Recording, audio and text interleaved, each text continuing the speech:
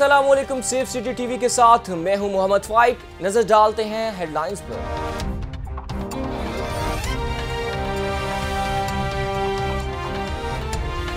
لین line کی خلاف ورزی جان بھی لے سکتی ہے۔ اپنی اور دوسروں کی زندگی خطرے میں مت ڈالیے۔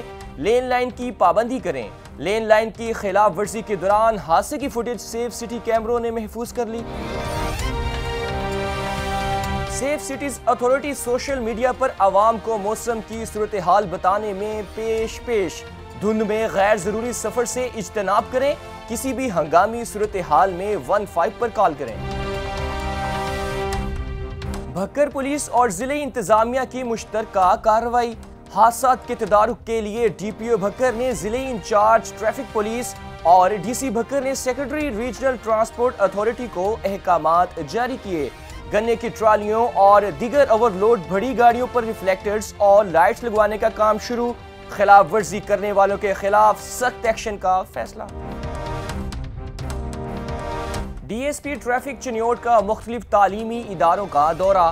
طلبہ کو ٹریفک قوانین سے متعلق آگاہی لیکچر اسکول کے طلبہ کو ٹریفک قوانین اور روڈ سیفٹی سے متعلق بتایا گیا۔ طلبہ کم عمری میں گاڑی یا موٹر سائیکل ڈرائیونگ سے اجتناب کریں۔ D S P traffic. D P O Muzaffargarh Nadeem Abbas کا رات گے تھانہ سٹی صدر اور کمان اینڈ کنٹرول سینٹر مظفر گڑھ کا دورہ۔ تھانہ سٹی میں جاری ترقیاتی کام برائے اسپیشل انیشیٹو پولیس اسٹیشن کا جائزہ۔ تھانہ صدر کے فرنٹ ڈیسک میں ریکارڈ بھی چیک کیا۔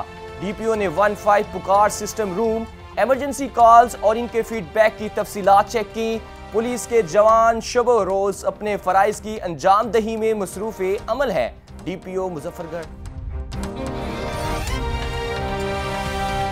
تھانہ صدر اٹک پولیس کی زبردست کاروائی پندرہ سالہ ذہنی معذور بچے فرقان احمد کے ساتھ زبردستی بدفعلی کرنے والا ملزم۔ مبشر ولد نصیر احمد گرفتار۔ ایس ایچ او تھانہ صدر اٹک نے چوبیس گھنٹے کے اندر ٹیم تشکیل دے کر ملزم کو پکڑ لیا۔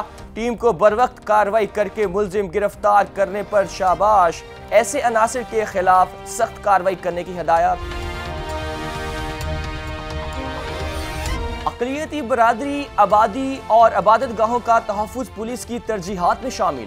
D P O Muzaffargarh Nadeem عباس کی عیسائی برادری کے وفد کے ساتھ ملاقات۔ ملاقات کا مقصد کرسمس پر سیکیورٹی کے فول پروف انتظامات کو یقینی بنانا اور پولیس کے ساتھ بہترین کوارڈینیشنز قائم کرنا ہے۔ تمام شہریوں کو بہترین خدمات فراہم کی جا رہی ہیں۔ D P O Muzaffargarh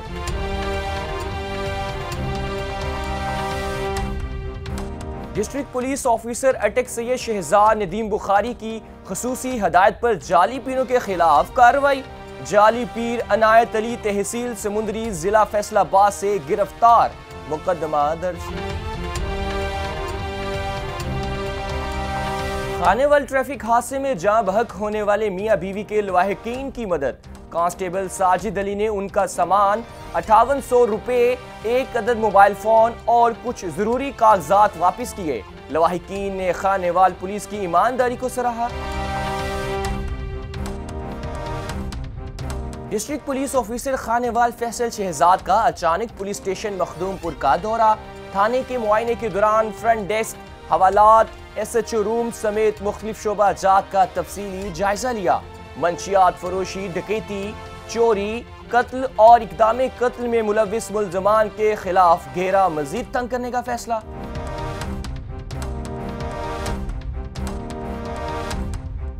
deputy commissioner اور ڈی پی او چنیوٹ کا علل صبح سبزی و فروٹ منڈی کا دورہ۔ دوران وزٹ سبزی و فروٹ کی نیلامی کا جائزہ لیا گیا۔ اشیاء کے معیار مقدار کو چیک کیا گیا۔ ریٹ لسٹ چیک کی گئی خریداری کے لیے آنے والے لوگوں سے ریٹس معلوم کیے گئے۔ مارکیٹ کمیٹی کے عملہ سمیت دیگر متعلقہ افسران کو حاضر رہنے کی ہدایات، غیر معیاری اور مہنگی اشیاء فروخت کرنے پر کارروائی ہوگی۔ محمد ریاض اور سید حسنین حیدر۔ نجی کالج کے اساتذہ اور طالبات کا پولیس خدمت مرکز خانے وال کا دورہ، جہاں خواتین کو ایک ہی چھت تلے تمام سہولیات کی فراہمی بارے مختلف شعبہ جات کا تفصیلی معائنہ کرایا گیا۔ ڈی ایس پی صدر خانے وال نے طالبات کو انسداد تشدد برائے خواتین مرکز کی افادیت بارے بریفنگ دی۔ اب خواتین گھریلو تشدد، نفسیاتی بد سلوکی، جسمانی اور جنسی تشدد اور ہراسمنٹ کی صورت میں بلا جھجک وومن سینٹر سے انصاف حاصل کر سکتی ہیں۔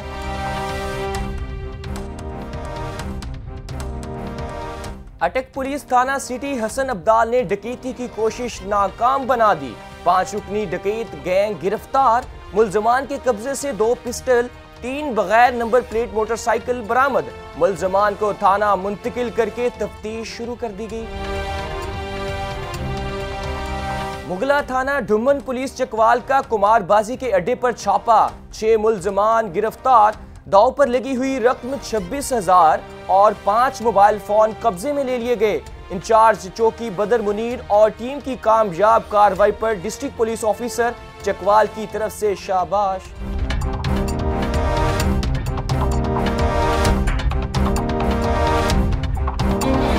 یہ تھی اب تک کی خبریں۔ مزید اپڈیٹس اور خبروں کے لیے وزٹ کیجیے ہماری ویب سائٹ www.psca.tv